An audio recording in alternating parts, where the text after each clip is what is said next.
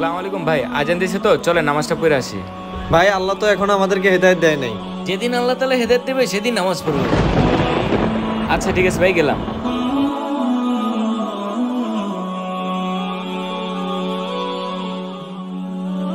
ভাই তোমরা কি তোমাদের ঘরে আমাকে নিয়ে যাবে? আরে ভাই তুমি কি পাগল? তোমার মতন ভিখারি আমার ঘরে নিয়ে যাব? ভাই তোমরা আমাকে পছন্দ করো না তাই তোমরা তোমাদের ঘরে আমাকে নিয়ে যাবা না। ঠিক তেমনই ভাই আল্লাহ তোমাদেরকে পছন্দ করেন না। এই জন্য তোমাদেরকে মসজিদে হেদায়তের জন্য আল্লাহ তালা ডাকেন না। আমার ভাইয়েরা নামাজি এমন একটা জিনিস যেটা আমাদেরকে আল্লাহ তাল্লার নিকটবর্তী নিয়ে যাবে। তাই আমাদের সবাইকে নামাজ পড়া দরকার।